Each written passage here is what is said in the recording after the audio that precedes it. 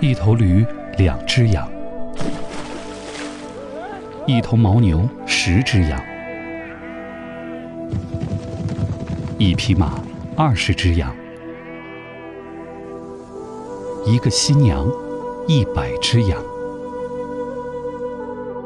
如果你家羊不够的话，有一个成年的姐妹也能换回来一个新娘。我很开心，父亲打算用妹妹给我换一个新娘。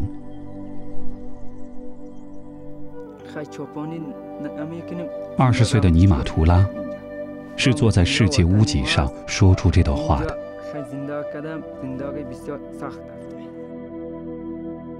为了遇见他，摄制组从阿富汗的首都喀布尔出发，先用一周的时间。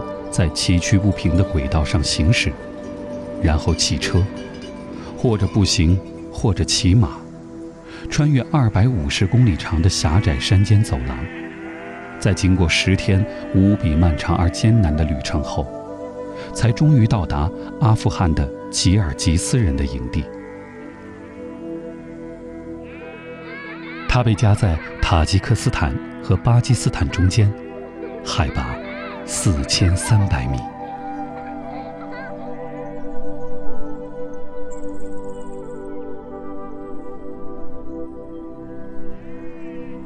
这里没有车，没有电，没有耕种，甚至连一棵树都没有。牧民们靠以物易物来解决生活所需，绵羊是代表一切财富的货币。人们称他们是被囚禁在世界屋脊上的游牧民族。如今，整个营地只剩下大约一千两百人。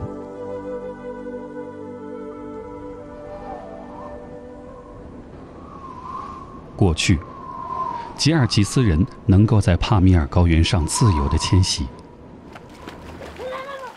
后来，为躲避战乱，一小支吉尔吉斯的游牧民。在阿富汗、巴基斯坦和塔吉克斯坦交界处的高地上，开启了流亡生涯。随着中亚各国的发展，边界陆续关闭，他们被彻底困在了这里。边界的另一边就是文明、商店、医院、学校，但他们没有权利越过。流亡是一个很痛苦的选择。部族首领罗山一直在为他的族人寻找出路，但在找到之前，一切只有顺其自然的等待。尼玛图拉已经二十岁了，眼下他的未来是尽快娶一个妻子，可他现在根本负担不起。原本作为前酋长的长孙，他是可以有一门好亲事的，但因为爷爷突然离世，父亲瓦利和叔叔罗山因为酋长之位起了争执。叔叔罗山承诺族人可以找到出路，因此获得族人的支持，成为了氏族的新首领。兄弟间产生的嫌隙。也影响了尼玛图拉的婚姻。痛失酋长之位的瓦利想出了一个联姻策略，他准备快速与邻族部落的酋长结亲，用自己年满十八岁的女儿交换对方的女儿，这样两个家庭的儿子就都有了妻子。这是一场很划算的邻族联姻。不是每个男人都能得到这样好的机会。今天，氏族里的长者们聚在一起，准备商议瓦利女儿穆伦布的婚礼事宜。明年春天，她将会嫁给邻族酋长哈比布拉的儿子萨塔。得知将要嫁给一个素不相识的男人，穆伦布显得有些哀伤。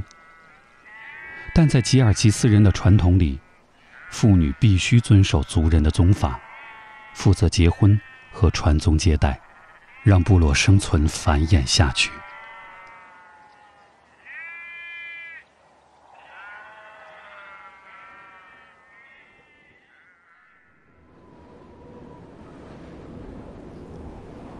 帕米尔山脉的冬天从十一月开始，气温降至零度以下，天地都被冰雪覆盖着。对男人和女人来说，这个季节很少能有闲下来的时刻。每年冬天，女人们都会担心牲畜因为饲料的缺乏而大量死亡，而男人们。要负责在高原中寻找草料。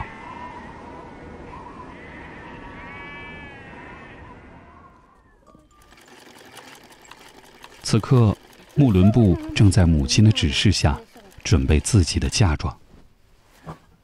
除了饰品、婚席及一些居家用品，还要为未婚夫准备马鞍垫和围巾等礼物。吉尔吉斯斯坦的女子，婚前头上包的是红头巾，婚后会变成白色。当她戴上白头巾，就意味着她将离开自己的家庭，为丈夫的家庭服务。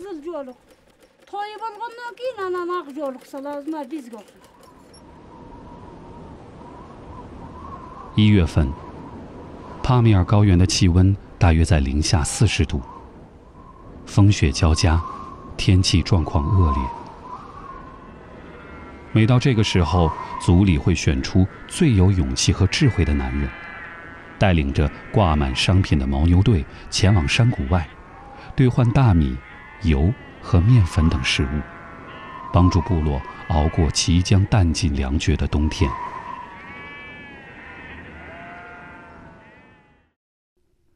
这是一项危险的事业。也曾有人有去无回，但这是所有吉尔吉斯男人的重要历程。年轻人如果想获得部族的肯定，远征无疑是最好的机会。在瓦利的劝说下，尼玛图拉欣然接受了这个考验。一大早。他便和族人们整装上路。他们将在冰天雪地的高原上完成一场跨度约一百五十公里的商队远征。未来一个星期，他们会冒着寒冷和危险，沿着营地前的河流一路向前。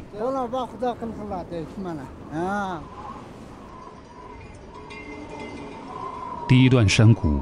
大约需要走两天。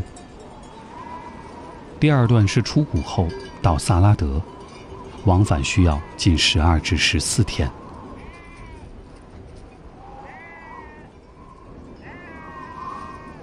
雪坡上很容易打滑，人仰马翻是家常便饭。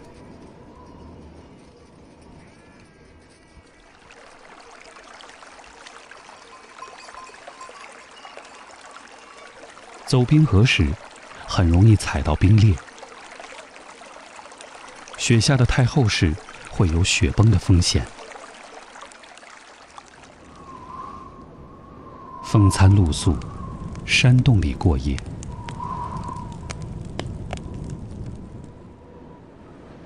上山下坡，撒着沙子过冰河。就这样一路过五关斩六将，他们终于安然出山。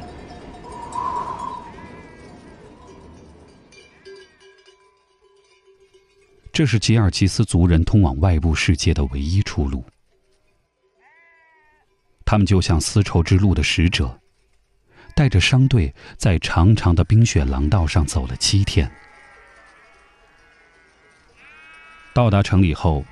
他们兑换了二十袋面粉、两袋大米和一袋茶，这些食物将帮助部落熬过这个漫长的冬天。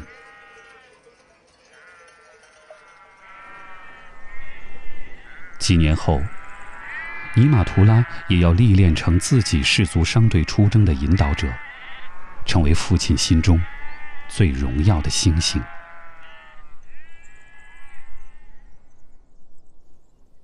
无休止的冬天过去，春天踩着浅浅草色归来。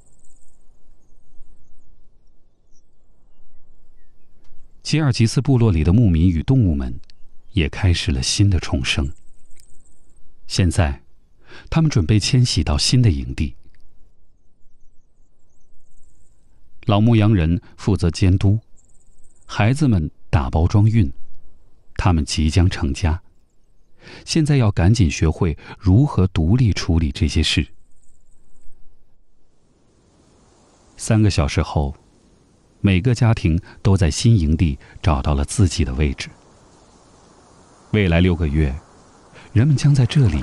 安营扎寨。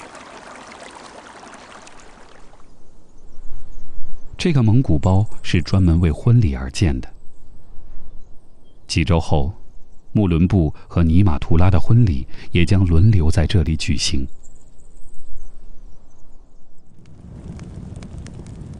忙完营地搭建后，人们还会发酵牛奶、晾干、制成奶酪，最后靠着奶酪和牲畜换钱。因为没有国家和法律的管制，塔吉克人常常会在冬天偷盗吉尔吉斯游牧族的牦牛、马、羊和骆驼，这无疑为他们本就贫瘠的生活雪上加霜。如果这个状况持续下去，罗山将考虑带领族人搬往土耳其定居。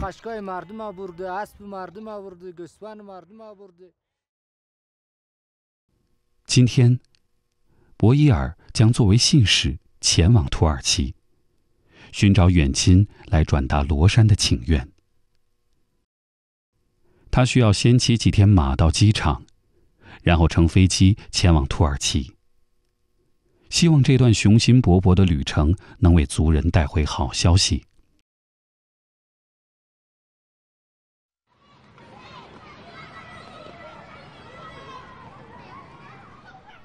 穆伦布婚姻的前一天，家族里的女性们难得聚在一起，向他传授了很多婚后生活的秘籍。尼玛图拉婚礼的日期还未确定，但他十分珍惜最后的单身时光。父亲瓦利需要牺牲一只羊作为祭品，来决定他的婚礼日期。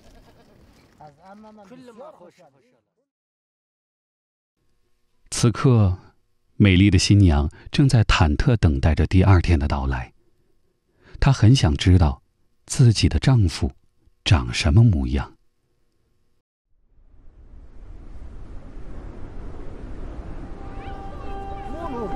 清晨，新郎的马蹄声踏破草原，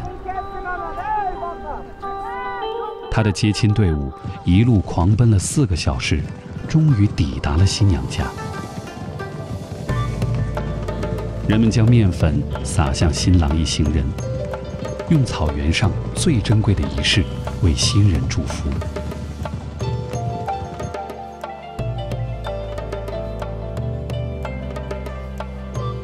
瓦利家的营地上，亲友们络绎登门，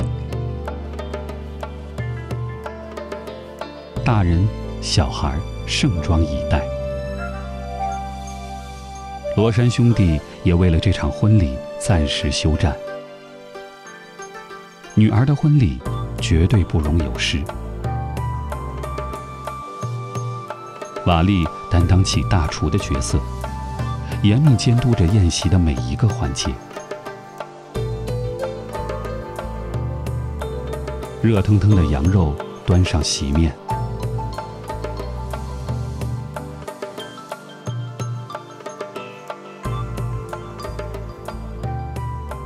另一边，新娘从黎明时分就开始梳洗打扮。这个年轻的女孩刚刚进入花季，就要与家人分离，进入陌生的家庭。这对她来说，无疑是十分艰难的事情。难忘的时刻终于来临。华服加身的穆伦布走出帐篷，终于见到了新郎。两人在天地与亲友的见证中，定下白头之约。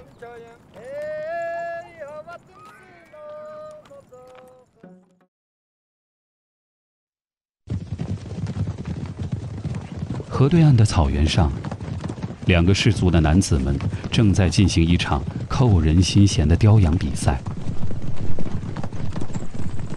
这是一种源自祖先的传统比赛，也是重要的场合中必须要有的一种仪式。人们骑在马背上，争夺着一只割去头的羊。率先抓到羊并奔向终点的队获胜，并能获得一份奖励。不过今天只是一场友谊赛，所有的拼搏都是为了向新人祝福。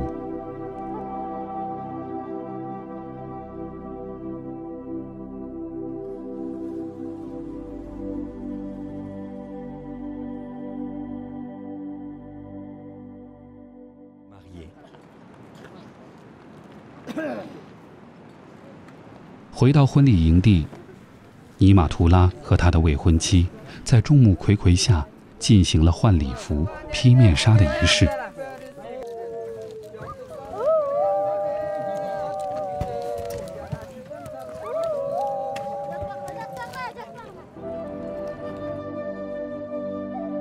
接着，他们在帐篷中举行了毛拉圣礼。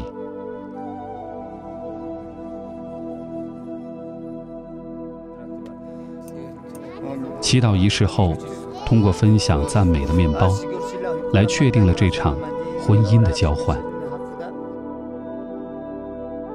源自族人的祝福和信任彼此的同意。所有礼成后，他们将会单独在新婚帐篷里待三天，以加深彼此的了解。